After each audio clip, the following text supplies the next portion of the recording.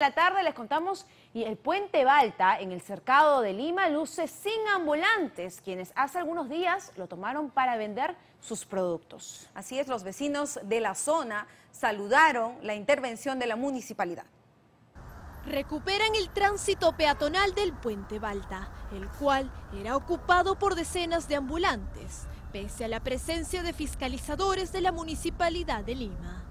Es que se trata de una importante e histórica infraestructura, ubicada encima del río Rímac, creada hace más de 150 años.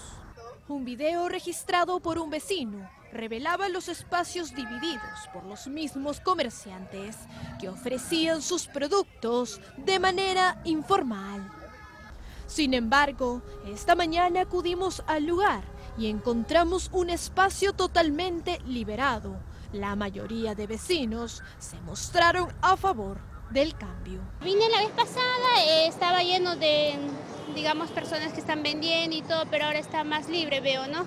Y eso es bueno porque ya es más libre para poder caminar las personas que siempre pasamos por aquí. Decenas de familias, parejas y vecinos cruzaron el puente peatonal de un extremo a otro sin mayor inconveniente. No solo se ha retirado los ambulantes que ocupaban este puente, sino también se ha realizado el pintado de la señalización, como estas líneas amarillas. Está pintadito y está bien que sea así, más bien que sean que sigan así. Así debe ser, más bien señorita, porque siempre para mucho lleno de gente y encima que lo dejan basura y te ponen a tomar en las noches.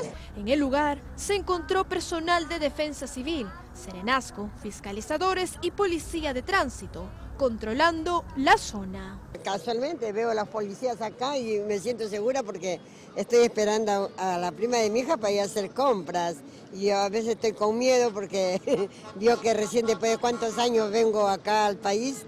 Pero los vecinos también exigen que se recupere el río Rima, que hoy luce muy contaminada. De este modo, mayoría de los ciudadanos espera que este panorama continúe a lo largo del tiempo y no sea solo de un momento.